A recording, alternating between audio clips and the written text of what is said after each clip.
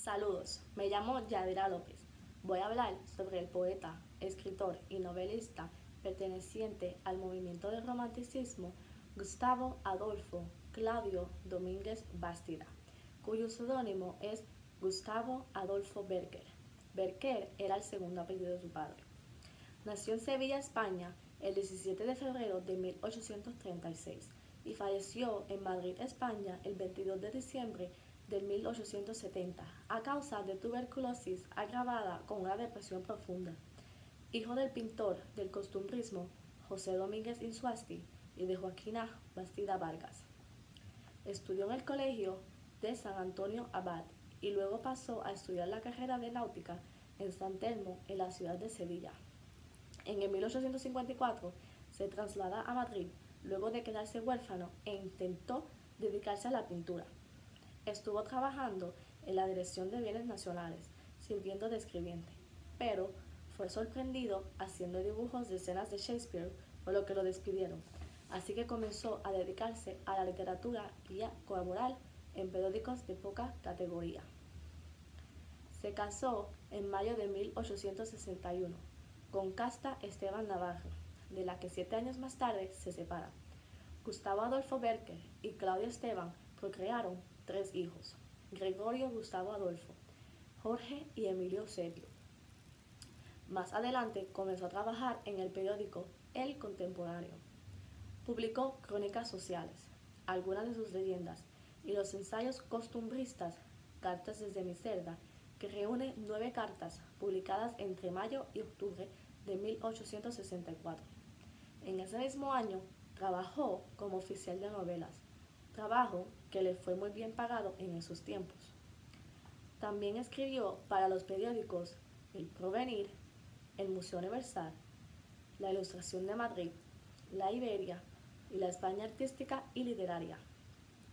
Para 1867 escribió sus famosas rimas, pero la revolución de 1868 hizo que se perdiera el manuscrito y tuvo que preparar otro agonizante, le pidió a su amigo, el poeta Ferrán, que publicara sus obras, lo cual lo hizo en el año 1871, en los dos volúmenes. Su reconocimiento cobró vida luego de sus obras salieran tras su muerte. Según los críticos, lo consideraban un romántico otario, por lo que lo asocian con el movimiento post-romanticismo. La poesía berkerania transmite emoción, con un estilo sencillo de sentimientos de desesperanza y entusiasmo. Los restos de Gustavo Adolfo Berker reposan actualmente en Sevilla desde que lo trasladaron en el 1913 junto a su hermano el pintor Valenario. Sus rimas suman un total de 86 y se publicaron en el 1871. El contenido de las rimas se dividieron en cuatro grupos. El primero consta desde la rima 1 a la rima 11, que son una reflexión sobre la poesía y la creación literaria. El segundo grupo de rimas consta desde la rima 12 a la 29, que tratan del amor y de sus efectos en el alma del poeta. Las de tercer grupo constan desde la rima 30 hasta la 51, en donde predominan el desamor y el desengaño. Y el cuarto y último grupo constan desde la rima 52 hasta la 86, en donde muestran el poeta enfrentando a la muerte y la decepcionado del amor y del mundo. Algunas de ellas son Historia de los templos de España, Cartas literarias a una mujer, Cartas desde mi celda, y algunas de sus leyendas escritas son Los ojos verdes, Tres fechas, La promesa, El beso, La rosa de pasión, las hojas secas y El rey Alberto. La obra de Berker tuvo un fuerte impacto en figuras posteriores como Rubén Dario, Antonio Machado y Juan Ramón Jiménez. Es considerado como el primer iniciador de la poesía española contemporánea. Más que un gran nombre de la historia literaria, Berker es sobre todo un poeta vivo en todos los sentidos de la palabra cuyos versos han gozado y siguen gozando de la predilección de millones de sectores, haciéndolo uno de los poetas del romanticismo más importante de todas las épocas.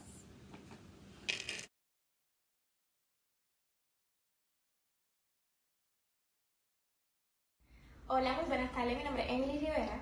Estoy en la sesión de español 2303 a continuación estaré recitando sobre un poema escrito por Gustavo Adolfo Becker.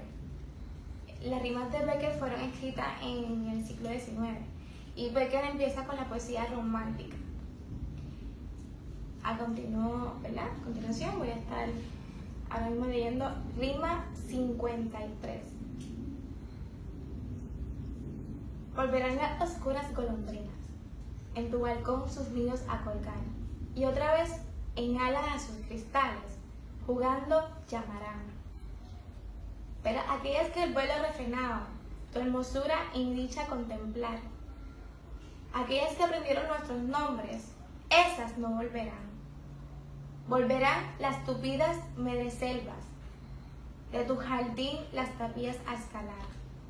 Pero aquellas cuajadas de rocío, cuyas gotas mirábamos templar, y caer como lágrimas del día, esas no volverán. Volverán del amor en tus oídos, las palabras ardientes a sonar. Tu corazón de su profundo sueño tal vez despertará, pero mudo y absorto y de rodillas, como se adora a Dios ante su altar, como yo te he querido. Desengáñate, así no te querrán. El tema del rima 53 es el amor en la relación con el tiempo. En el tiempo cíclico se produce años tras año. Los pájaros y las plantas van a vivir y morir de acuerdo a las estaciones del año. Sin embargo, el amor al poeta llegó a tener su novia.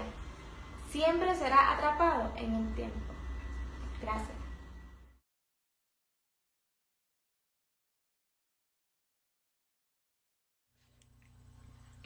Muy buenas noches, mi nombre es Selina Vélez y a mí me tocó la parte de tema y asuntos de la rima 53 de Gustavo Adolfo Becker. Entre los temas yo encontré eh, la alegría, la soledad, el amor, el desamor, el despecho y la tristeza. Y en parte también encontré que es como un regaño o un consejo. ¿Por qué? Pues ahí voy a entrar al asunto. En el poema, eh, yo percibí que un hombre se está refiriendo pues a una mujer que está pues sola, se siente sola pues porque su antigua pareja o la persona que estaba pues la dejó. Se siente triste, se siente sola, se siente despechada. Eh, en el primer beso rapidito dice, volverán las oscuras golondrinas en tu balcón sus nidos a colgar y otra vez con el hada a sus cristales jugando llamarán. O sea que ella se va a volver a enamorar, que no se sienta sola, que el amor va a volver a tocar a su puerta. En el tercero le dice, volverán las tupidas madreselvas de tu jardín, las tapias a escalar. Y otra vez a la tarde aún más hermosa, sus flores se abrirán. O sea que pues, cuando ella se vuelva a, enamorar, pues que se va a sentir mucho mejor. Que más mejor, o sea, no más mejor, o sea, mejor de lo que ella sentía con, con esa otra persona. Volverán del amor a tus oídos las palabras ardientes a sonar, tu corazón de su profundo sueño tal vez despertará. O sea que pues tal vez el, su corazón pues vuelva a sentirse feliz de esa profunda soledad que ella siente.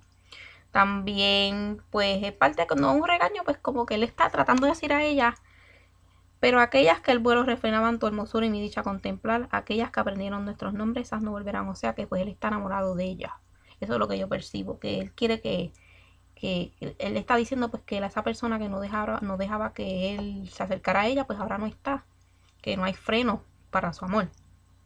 Pero aquellas cuajadas de rocío, cuyas gotas mirábamos temblar y caer como lágrimas del día, esas no volverán. O sea que pues ya no hay tristeza, que ya no haya tristeza, que él la quiere hacer feliz a ella y pues quiere que ella esté esperanzada y en el último verso dice, pero mudo y absorto de rodillas como se adora a Dios ante su altar, como yo te he querido, desengáñate, así no te quieran.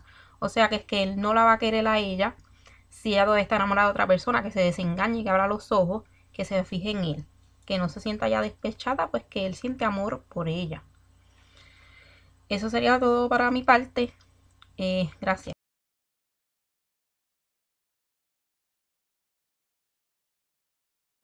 Tardes, mi nombre es Eric. Y estaré discutiendo las características del periodo del eh, autor español Gustavo Adolfo Bécquer.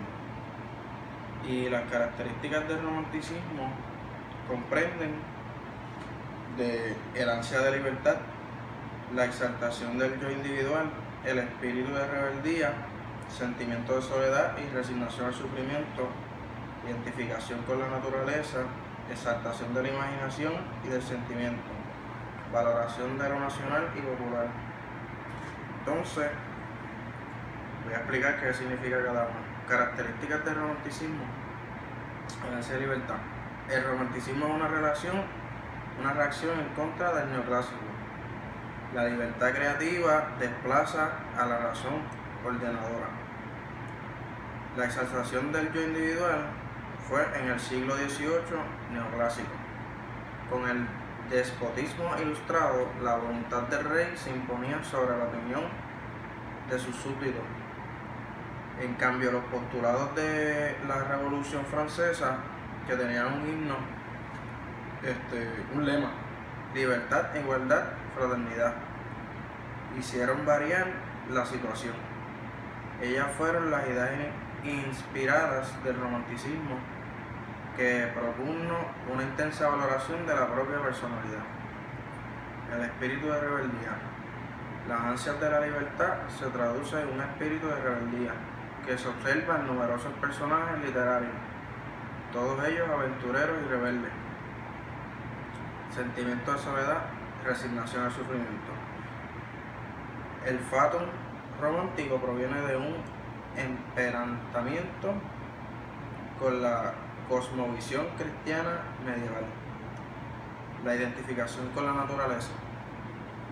La naturaleza en su estado puro. No se trata de una, de una naturaleza de jardín, sino de una naturaleza guardadora de secretos en la que pueda proyectar su estado anímico. Y por último, la exaltación de la imaginación y del sentimiento.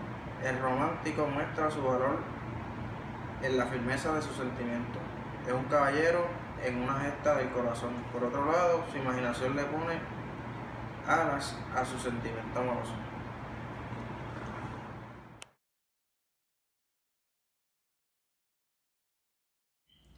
Hola, muy buenas tardes. Mi nombre es Emily Rivera. Estaré eh, explicando sobre el romanticismo de, en el poema. Cuando el poeta escribe Rima 53. El poema se trata de, del amor, en especial en el amor no correspondido, ya que los enamorados del poema fueron felices en un, en un momento dado, cuando se daba la golondrina desde el balcón, ¿verdad? Puede ser de la novia o del mismo poeta. Ya cuando en el momento dice que Volverán del amor en tus oídos, la palabra ardiente a sonar, tu corazón de su profundo sueño tal vez despertará.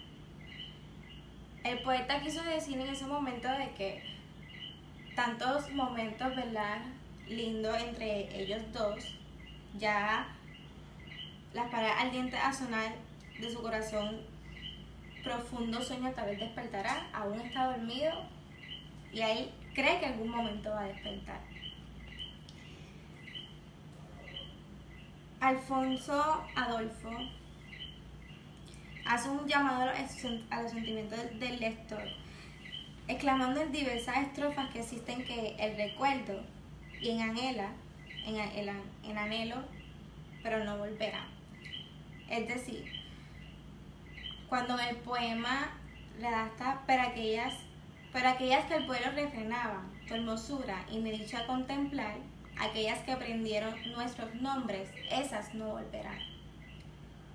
Ya él está como casi resignado, no volverán. Y no es la única estrofa que sale en el poema.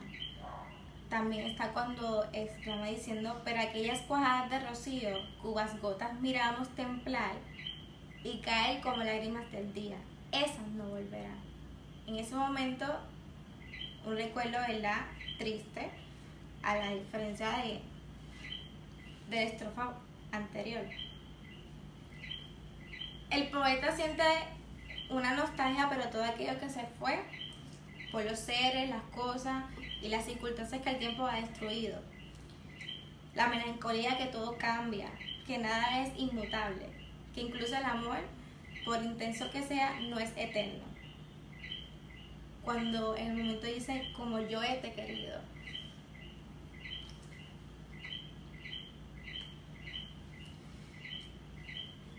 El poeta carga un mensaje subliminal que expresa sus deseos por recuperar su antigua vida, en donde amó a esa persona que ya no siente lo mismo por él, mientras al mismo tiempo aceptaba que todo ya quedó, puede quedar en el pasado. Al parecer ella ha puesto un fin del noviazgo y ahora él ya, yo poético, triste, compungido, la vida se, seguirá en su curso, las estaciones seguirán sus su cursos cíclicos. La perspectiva del poeta ya nada igual porque sus recuerdos de la naturaleza van estrechamente ligados a un recuerdo observado del lado de su madre. Espero ¿verdad? que puedan entender ya brevemente lo que explica el romanticismo y muchas gracias por su atención.